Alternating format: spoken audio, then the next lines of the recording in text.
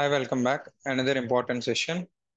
So how to check planned abroad entries for tax in SAP FICO or SAP SD. This is what we have driven last few weeks, uh, how to get it.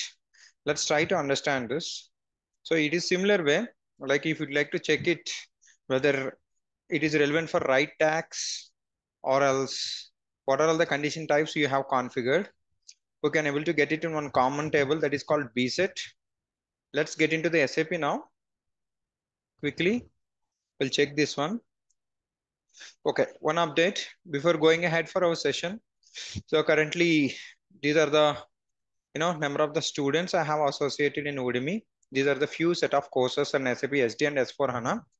You can find uh, these links uh, below of this video at a description section. So let's come back to our topic now. Let's see this. So these are the test documents I have created. So this is the pricing procedure. So let's see this billing document. So for plant abroad billing document type is WIA. Okay. So let's go to VF03. Sometimes it might have chances to get fail or else your reporting won't be not properly generated. Such a cases, you have to review this one. So let's go to the item level. Conditions, you can see this, right?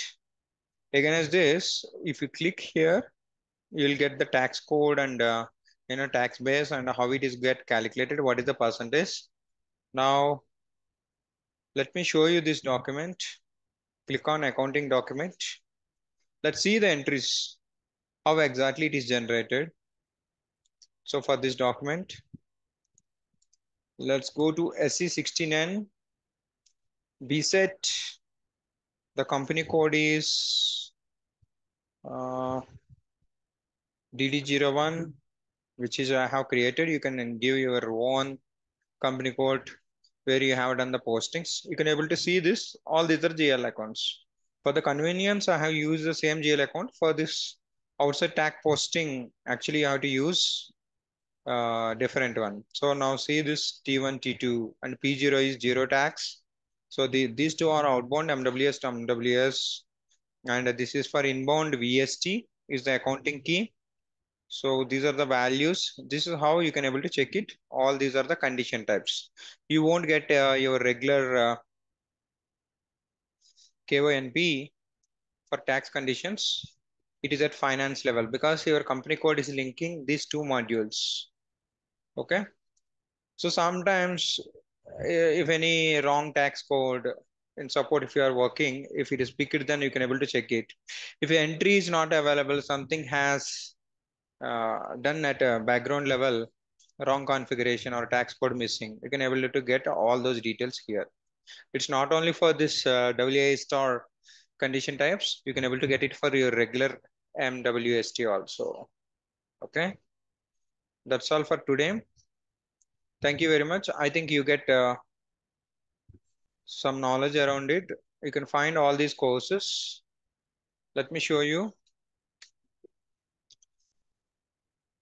My YouTube channel.